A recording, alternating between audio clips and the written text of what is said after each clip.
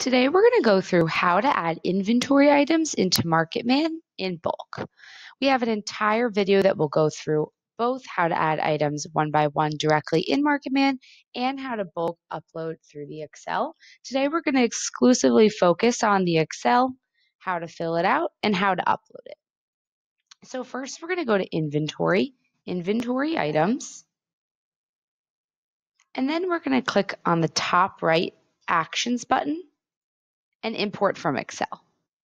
From there, you have two options. You can copy and paste from an Excel file, or you can actually upload an entire Excel file, which is what we're going to go through today.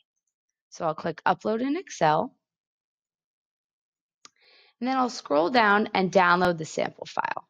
Once you've downloaded the sample file, open it up in Excel, and we're going to walk through first the mandatory columns that we need to fill out.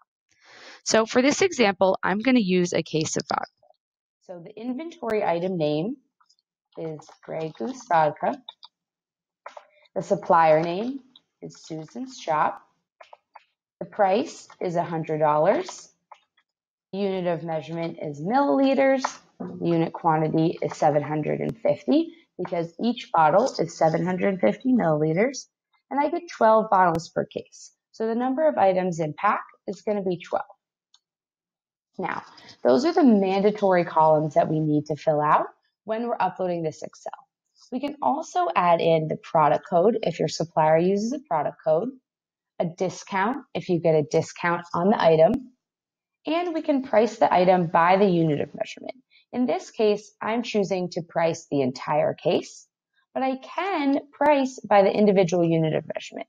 This is really helpful for items like ground beef, for example, where oftentimes they're priced by the pound. If the item is priced by the pound, simply write yes. If not, write no. I can also add in my category and storage areas as well. If you're a more advanced user, you can also add in your minimum on hand and par level amounts for this particular item. Now, I want to repeat that process for all of the items that I'm looking to add in MarketMan in bulk.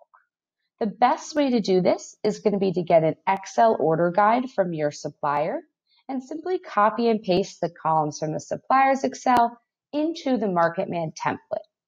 Now, once I've completed this process, I'm going to go ahead and save the file to my computer. Then what I can do is return to MarketMan Scroll back up to the top, browse the file for my computer, open it, and press continue. Now, if you're on a Mac, what we would suggest, and if you're using numbers, is doing this work in numbers and then exporting the file to Excel so that you can import as needed.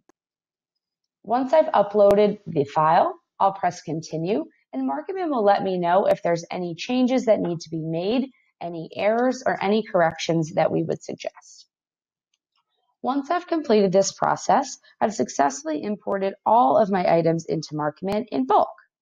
Again, we have another video that exclusively covers how to add items one by one and in bulk.